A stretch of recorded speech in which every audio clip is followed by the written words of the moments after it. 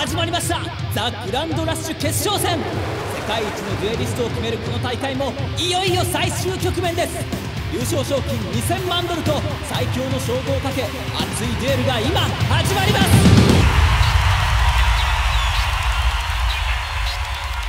血の滲むような努力で着実に白星を積み上げてきた頭脳明晰な少女プレイヤーナッツ。マキラ攻撃防御ともにバランスよく組まれたメカニックデッキです。デッキの主軸は彼女のトレードマークともいえるキャラクターカードレッド。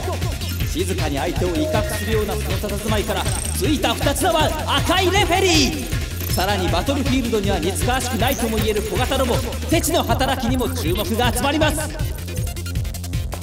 対するプレイヤーは先日の予選で番狂わせを演じた天意無法の勝負師アリス。ビースト。古代生物幻獣たちで構成された謎多きデッキです。特に注目すべきはやはりエルダ・ドレイク。高い知能レベルを誇り攻撃の際は魔法を使用する大変希少なキャラクターです。さらにその陰には戦闘意欲をギラつかせる極縁も控えています。